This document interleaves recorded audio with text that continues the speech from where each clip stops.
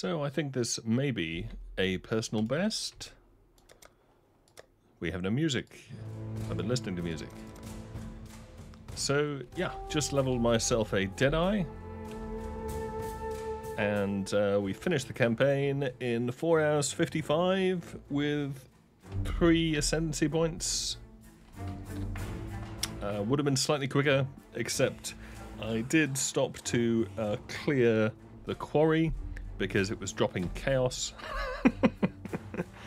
and uh, we also stopped to upgrade our bow because this dropped on the ground, so I threw some uh, chromatics, uh, some tainted chromatics at it, as it's actually not bad. It was better than uh, using the um, triple your quiver bow, which I was using before. A uh, bunch of leveling gear. Um, we have a good Salios, actually not bad.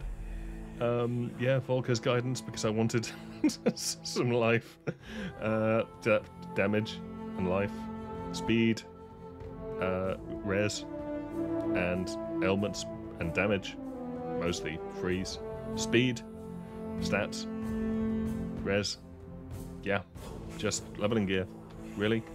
Uh, yes, so we are 0 to 65 in 4 hours 55. I think sub 5 hours fully ascended is my personal best, I would say.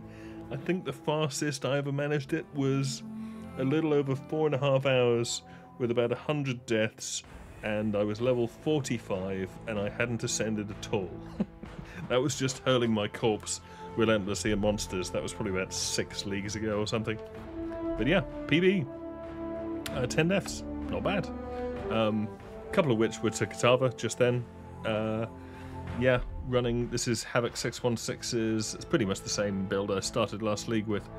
Um, only reason I'm leveling this build, I'm doing reasonably well on challenges, but I've got to clear a lot of maps. A lot of maps, and my current build is reasonably fast. But I've got to clear a lot of maps. Like a lot. Uh, a couple of hundred, best guess.